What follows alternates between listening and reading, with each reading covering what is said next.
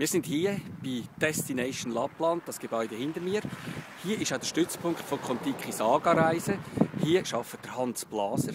Er ist den ganzen Winter da und betreut Kunden von Kontiki Saga. Und ihn gehen wir jetzt besuchen. Herzlich willkommen, ich bin Hans Blaser und ich bin Winter in Lappland und würde mich von Herzen freuen, euch in Lappland zu begrüßen in diesem wunderbaren Winterparadies. Eckes Lompelo ist ein absoluter Wintertraum. Wenn man nachkommt, hat es viel Schnee.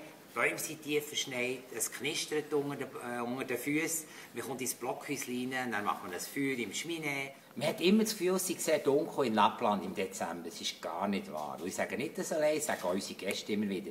Es hat sehr viel Schnee, Bäume sind tief verschneit.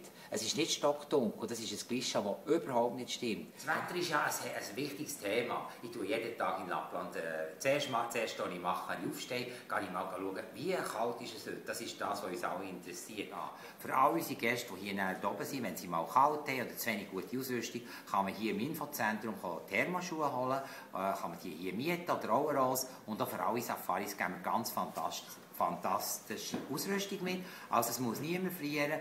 Zur Nacht sieht man noch Nordlichter. Dann kann man mit der Husky-Tour einen Ausflug machen. Es hat fantastische Läupe. Man kann mit den Schneeschuhen auf einen Hügel laufen.